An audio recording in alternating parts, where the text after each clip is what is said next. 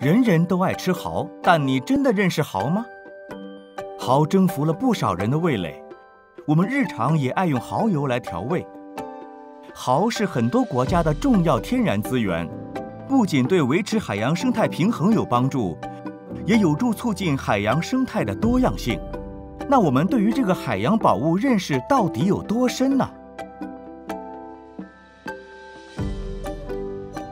科学家在南非山洞里找到的证据显示，我们早在十六万年前就已经开始吃蚝了。人类养蚝的历史则可以追溯到四千多年前。李锦记制作蚝油也有一百三十多年的历史了。虽然世界上有一百多种蚝，但我们普遍使用的主要是这五种，当中最多人吃的就是太平洋蚝。占全球养殖蚝产量差不多百分之九十八。我们平常吃的蚝，平均年龄是二到五岁，这个年纪的蚝是最美味的。而世界有记录最长寿的蚝已经有两百多岁，而且它的身体还好得很呢。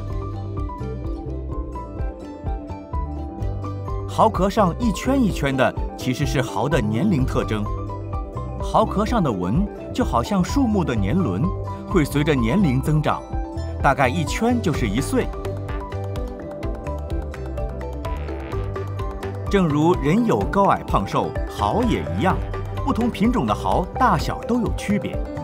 以太平洋蚝为例，平均长度是八到十五厘米。根据吉尼斯世界纪录，目前最大的蚝有三十五厘米长，比四只成年太平洋蚝还要长。